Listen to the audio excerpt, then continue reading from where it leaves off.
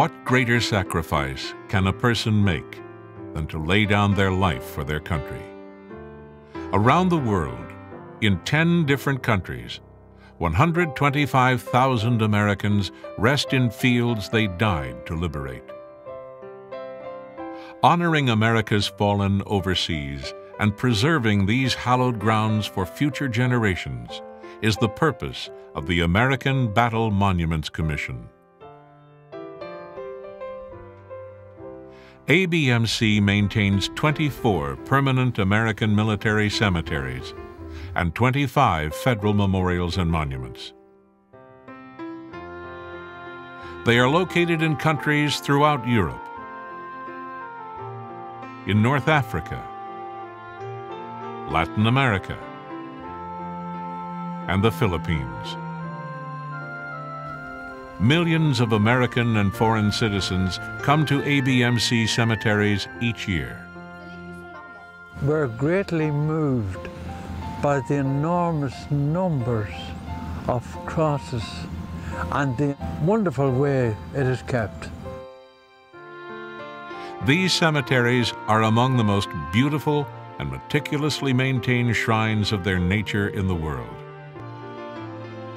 They follow the footsteps of those who fought and died for our freedom. Sacred and serene, they were created to honor America's fallen heroes. But they are also intended for the living. Join us in these fields of honor. In 1914, a massive war broke out in Europe that threatened the heartland of Western civilization. America entered World War I in 1917 to come to the aid of her European allies. By the time it was over, more than 83,000 Americans had lost their lives. More than 4,500 were missing in action. Following the war, the U.S. government gave families and loved ones the option of sending remains home or interring them overseas in permanent memorial cemeteries. 60% of those who died were eventually returned to the United States. But more than 30,000 Americans remained with their comrades in the lands where they fell. Many temporary cemeteries and monuments had been created with no provision for long-term care. General John J. Pershing, commander of American forces in World War I, asked Congress to correct this situation. And in 1923, the American Battle Monuments Commission was established. Eight permanent World War I cemeteries and numerous stand-alone memorials were commissioned by ABMC the finest architects, artists, and craftsmen in the world were engaged in their creation. Finished, they became timeless commemorative places to honor those who sacrificed their lives for the nation.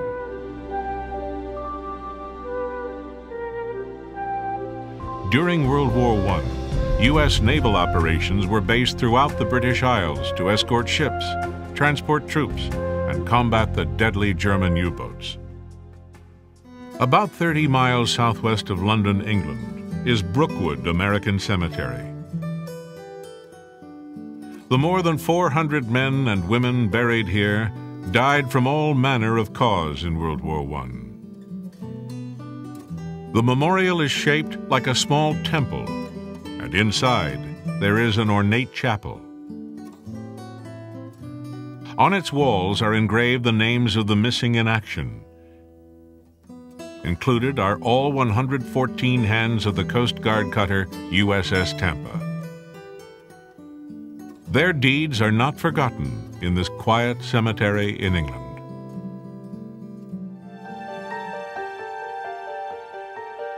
When American troops first joined their allies in combat in France, they quickly learned how deadly war could be. Just outside the city of Paris is the beautiful Suresnes American Cemetery.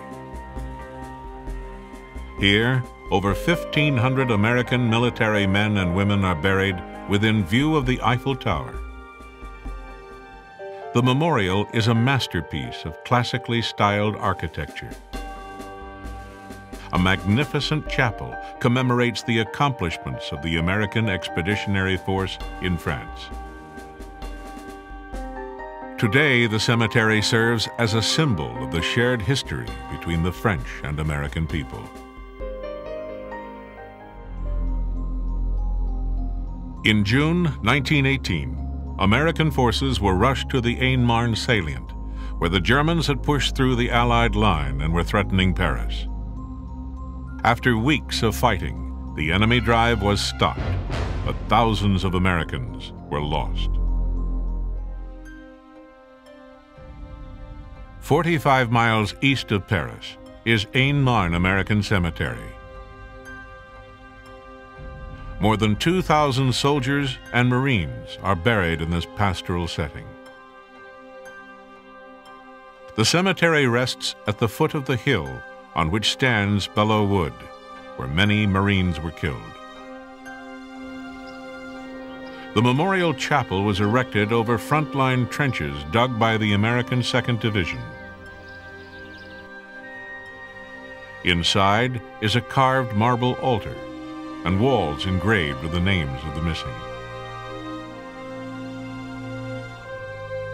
Nearby is the Marine Monument at Belleau Wood. Vestiges of shell holes, trenches, and weapons can still be seen in the vicinity. Six miles from the cemetery is the Chateau Thierry Monument that dramatically overlooks the town for which it is named. It commemorates the heroic actions of American and French troops in the valley of the Marne.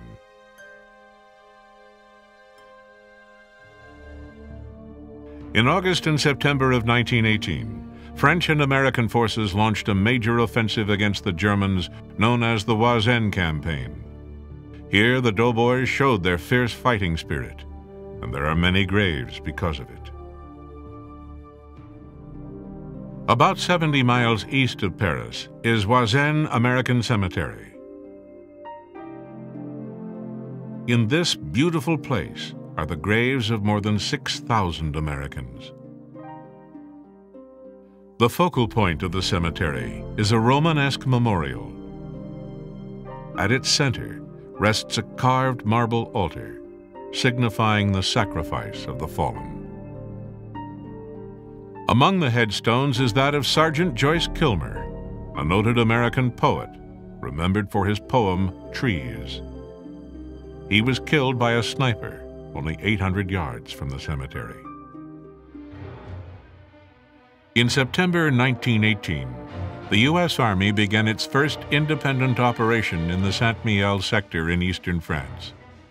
Following four days of furious fighting, the Germans were driven back but with a tremendous cost in lives.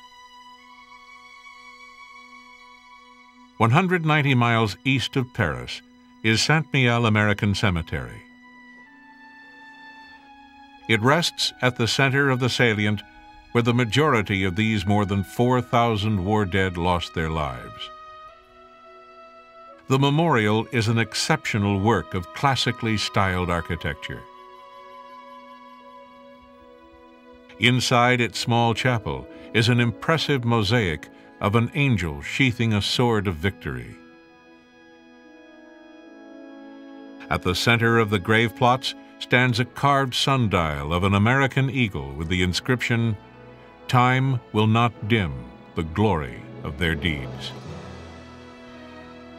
About 10 miles from the cemetery is the impressive Montsec Monument.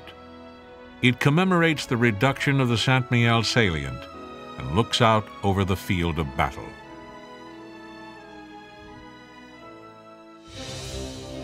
Further north, in the vicinity of the Somme River, combined British, Canadian, and American forces battled the Germans at the heavily reinforced Hindenburg Line. Fighting through machine gun fire and barbed wire, American losses were high. 120 miles northeast of Paris is Somme American Cemetery. It is situated in the place where the 107th Infantry Regiment suffered nearly 1,000 casualties during the first day's attack. At one end of the cemetery stands a small memorial chapel. Inside, a crystal cross directs sunlight on the names of the missing. An inscription above the chapel honors those who died for their country. In late September of 1918, American forces joined with the French and the British in the Meuse-Argonne offensive in eastern France. It was the largest offensive in American military history, lasting 47 days with over a million men at arms. It also entailed the greatest loss of American life. Near the French city of Verdun, 300 miles northeast of Paris, is Meuse-Argonne American Cemetery. It is the largest American World War I cemetery.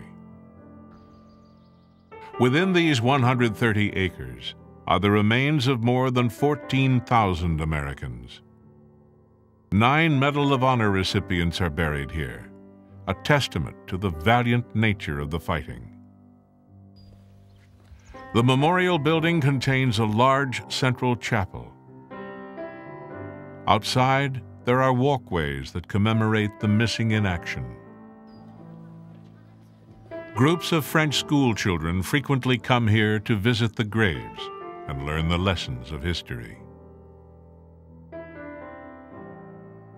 A short distance away is the imposing Montfaucon Monument. It commemorates the victory of U.S. and French armies in the Meuse-Argonne offensive. An observation platform provides a commanding view of the Meuse-Argonne battlefield in all directions. Throughout the war, American forces also fought to the north of France in Belgium, along with the British. In the final weeks of the war, two U.S. divisions suffered heavy casualties. 90 miles west of Brussels, Belgium, is Flanders Field American Cemetery. It is located on a battlefield where many of its nearly 400 war dead fell. Ten of the soldiers buried here died on the last day of the war. In this small cemetery, one can feel the famous poem, Flanders Fields. In Flanders Fields, the poppies blow, between the crosses, row on row, that mark our place.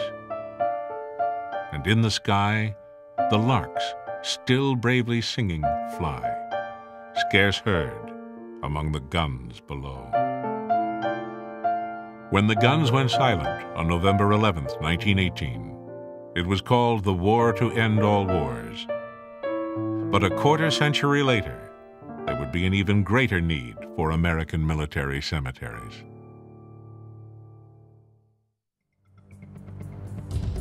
On a December morning in 1941, a new enemy suddenly and violently appeared. With the Japanese attack on Pearl Harbor, America entered World War II. Over a period of four tumultuous years, more than 400,000 Americans lost their lives. More than 78,000 were missing in action. After the war, temporary American military cemeteries were scattered in nearly every part of the world. 171,000 of these war dead were returned to the United States. But families of over 93,000 fallen Americans requested that their loved ones remain buried overseas alongside comrades in arms. To honor their sacrifice, 14 new permanent World War II memorial cemeteries were commissioned by ABMC. America's war in the Pacific was a gargantuan effort, moving men and weapons across a vast expanse of ocean towards the enemy's homeland. By the time General Douglas MacArthur returned to the Philippines, the loss of American life was enormous. The largest American World War II cemetery is in the Philippines. Manila American Cemetery is located just outside the country's capital city. Buried here are more than 17,000 Americans who died in the Pacific theater of the war. There are 28 Medal of Honor recipients. Filipino soldiers who fought with the Americans also rest here. Groups of school children frequently come to visit to learn more about the long-standing relationship between the United States and the Philippines. Inside the memorial are walls of the missing, inscribed with more than 36,000 names. They include the five Sullivan brothers who died together when their ship, the USS Juneau, was sunk off Guadalcanal. 85 miles north of Manila is a site of the infamous Bataan Death March. The Cabanatuan Memorial marks the location of a Japanese prisoner of war camp that held 20,000 American servicemen and civilians captive from 1942 to 1945.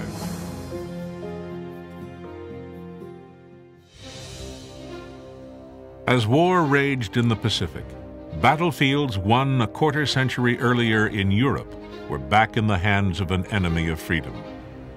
U.S. combat operations against Italy and Germany began on the shores of North Africa in places like the Kasserine Pass, thousands of Americans perished. On the coast of North Africa today, just outside the city of Tunis, Tunisia, is North Africa American Cemetery. It is a small oasis in this frequently hot climate. Resting here are more than 2,800 Americans who lost their lives in the landings and occupation of Morocco, Algeria, and Tunisia. Among the many headstones, you will find that of Foy Draper, a gold medal winner from the 1936 Olympics. A reminder that America gave her very best for the cause of freedom. Meanwhile, in England, U.S. bomber squadrons flew continuous missions over enemy positions in occupied Europe and Germany. At the height of the war, one out of ten airmen lost their lives. 50 miles north of London, near the university town of Cambridge, is Cambridge American Cemetery. The more than 3,800 Americans buried here were killed in nearly every military operation launched in Europe in World War II. Many were crew members of British-based American aircraft. On the tablets of the missing, you will find the name of Alton Glenn Miller, the famous big band leader, whose plane went down over the English Channel. Inside the memorial is a large map room and chapel. A dramatic ceiling mosaic depicts the flight of heroes into eternity. Following the campaign in Africa, the Allies invaded Sicily and mainland Italy, where tens of thousands of Americans fell. About 40 miles south of Rome, Italy, near the famous Anzio beachhead, is Sicily Rome American Cemetery. In this stately burial ground are the remains of more than 8,000 American men and women. The spirit of the memorial is captured in the Brothers in Arms statue that stands at its center. The memorial also has an impressive map room and a chapel on whose walls are carved the names of the missing. On the ceiling is a unique sculpted dome that depicts the planets in the same positions they occupied at the precise moment of the Anzio landings.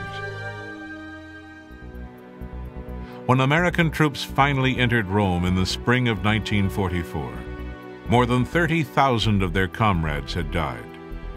Many more would follow before Italy was completely liberated. 150 miles northwest of Rome, just outside the famous city of Florence, is the beautiful Florence American Cemetery. Interred in this pristine setting are the remains of more than 4,000 American servicemen and women. This veteran fought in the area and has returned to visit his comrades. Every one of the men were, were great men, great fighters. I hope this cemetery stands for thousands of years so people will never forget it. A statue of a regimental soldier watches over the graves as the Tuscan sun rises and sets on the cemetery. On June 6, 1944, a massive Allied force made its historic journey across the English Channel to land on the bloody beaches of Normandy, France. More than 3,000 men died on D-Day. Thousands more were lost in airborne operations and in the breakout from the beachhead. About 150 miles northwest of Paris, overlooking the famous Omaha Beach, is Normandy American Cemetery. On these hallowed grounds are the remains of over 9,000 servicemen and women.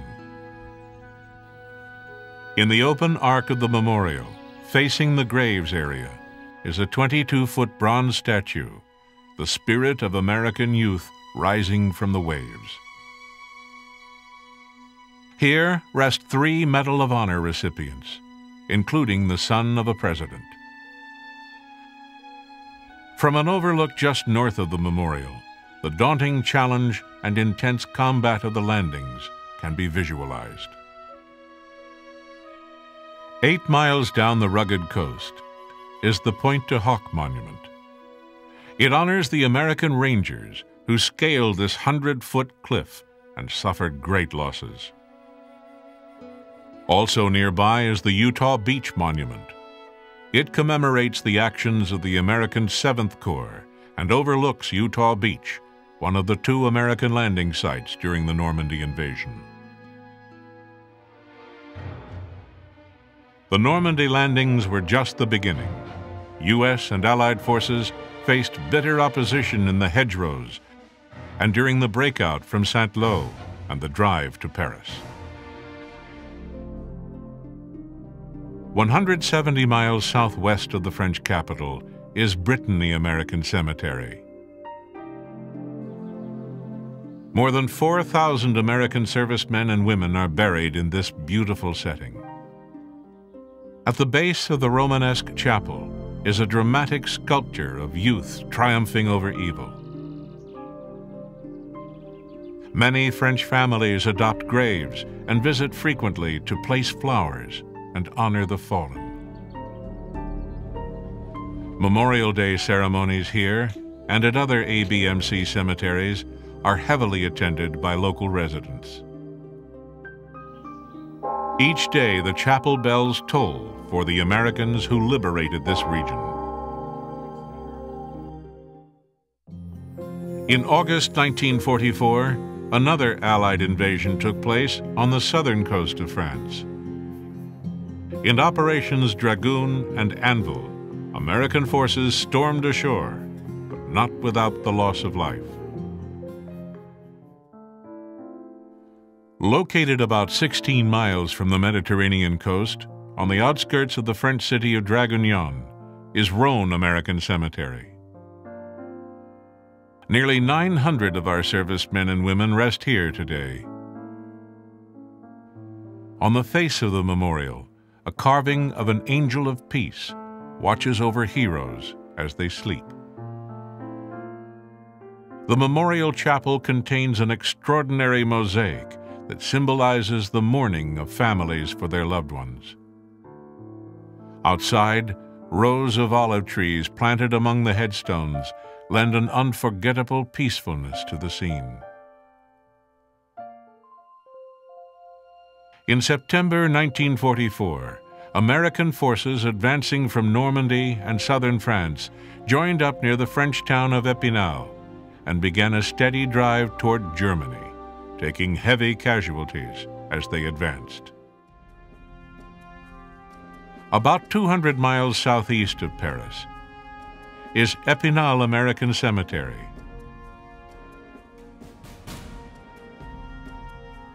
Among the more than 5,000 headstones are members of the highly decorated 442nd Infantry Regiment, comprised of Japanese Americans. The memorial has an imposing and dignified court of honor with bas-relief carvings on its facade. Inside, a large mosaic map depicts American military operations in the region. An inscription reads, This is their memorial. The whole earth is their sepulchre. North of France, another Allied offensive was taking place in the Netherlands. In Operation Market Garden, American bombers filled the skies, and the largest number of paratroopers in history was dropped behind enemy lines.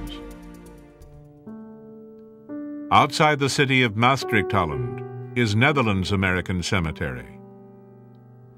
Buried in this gentle farmland are more than 8,000 servicemen and women. They lost their lives in airborne and ground operations to free eastern Holland and during the advance into Germany.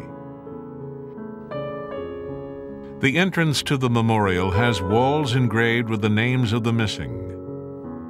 At one end stands a sculpture of a woman in mourning, flanked by doves of peace. This troop of American Girl Scouts has come on a special journey to pay their respects. Since the war, the cemetery has had a special relationship with local residents who adopt graves and visit regularly in gratitude for their liberation. Late in 1944, the German army launched a massive counterattack in the Ardennes forest in what became known as the Battle of the Bulge. Tens of thousands of Americans lost their lives during the cruelest winter in memory. Near the border of eastern Belgium, about 10 miles from the city of Aachen, Germany, is Henri Chapelle American Cemetery. More than 8,000 Americans are buried here who fell during the Battle of the Bulge, the Battle of the Hurtgen Forest, and the Battle of Aachen. Survivors often return out of respect for their fallen comrades. 22 American prisoners massacred by the German SS at Malmedy rest here. Above the graves stands a dramatic sculpture of a winged angel bestowing a laurel branch to the heroic dead. Just 20 miles to the southwest, near the city of Liège, Belgium, is Ardennes American Cemetery. Here lie the remains of more than 5,000 Americans who died during the Battle of the Bulge, the strategic bombardment of Europe, and the advance to the Rhine. Major John J. Gjerstad sacrificed his life flying his crippled plane into an enemy oil refinery. Inside the memorial are large battle maps made of inset marble that depict the Battle of the Ardennes. Keeping watch over this field of honor is a bronze statue of youth, a reminder that those who died were in the prime of their lives. Following the victory of the Allies in the Ardennes, the U.S. Third Army, commanded by General George Patton, liberated the small Duchy of Luxembourg but at a high cost. Just outside the capital city of Luxembourg is Luxembourg American Cemetery. More than 5,000 Americans came to their final rest in this 50-acre burial ground. On a terrace overlooking the graves, visitors can study troop movements and battles in the region. Along the walkways in the cemetery are descending pools of water ornamented with bronze dolphins. Stone pylons contain the names of the missing. Many come to see the grave of General Patton, buried here with his men. In March 1945, two U.S. armies crossed the Rhine River and began their final drive into Germany. The end was near for Adolf Hitler and his Nazis, but many more Americans would not live to see the surrender. About 220 miles east of Paris, near the town of Saint-Avold, France, is Lorraine American Cemetery. More than 10,000 Americans are buried here who died during the advance into Germany in the final phase of the war in Europe. You're just taken by surprise by the sheer number of graves. You realize the number of young men that died. Above the altar in the memorial chapel, a large sculpture group depicts the eternal struggle for freedom. The cost of that freedom will be remembered here for posterity.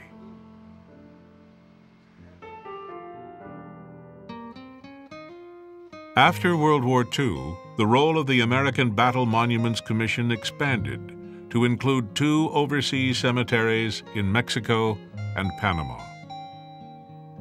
This is the Mexico City National Cemetery, a quiet tropical garden tucked within the Mexican capital. Buried here are veterans of the American Civil War, the Indian campaigns, and the Spanish-American War. The cemetery was established in 1851 by an act of Congress to gather the American dead of the Mexican War who lay in nearby fields. Further south, in the country of Panama, is Corozal American Cemetery. Here are more than 5,000 American veterans and others who died during the construction and operation of the Panama Canal. Some died from the dreaded yellow fever. Veterans from nearly every American conflict are buried here. This memorial, overlooking the graves, symbolizes the bond between the United States and Panama. ABMC also maintains three memorials on home soil. Near the southern tip of Manhattan Island, New York, is the East Coast Memorial. It commemorates those who lost their lives in the western waters of the Atlantic Ocean during World War II. Close to the Golden Gate Bridge in San Francisco, California, is the West Coast Memorial. It contains the names of those who lost their lives in the eastern waters of the Pacific during the Second World War. On the Hawaiian island of Oahu is the inspiring Honolulu Memorial, honoring those listed as missing in the Pacific theater of World War II, as well as the missing from the Korean and Vietnam Wars. In Washington, D.C., ABMC constructed three national memorials that are now part of the National Park System. They include the World War I American Expeditionary Forces Memorial, the Korean War Veterans Memorial, and the World War II Memorial. It can be said that the degree to which we commemorate our war dead is a mark of the nation's greatness, a measure of its heart and soul. With these extraordinary cemeteries and memorials around the world, America keeps faith with her fallen. ABMC invites all to experience these commemorative shrines and can provide the best routes and modes of travel to its cemeteries and memorials. It helps history come alive to be here. I just hope that more people do visit these many U.S. military cemeteries overseas and they can experience that for themselves. Those who walk these fields of honor depart with a heightened sense of respect and thanks for the thousands of Americans who gave their lives so the world might live in peace and freedom. For more information, visit the ABMC website at abmc.gov.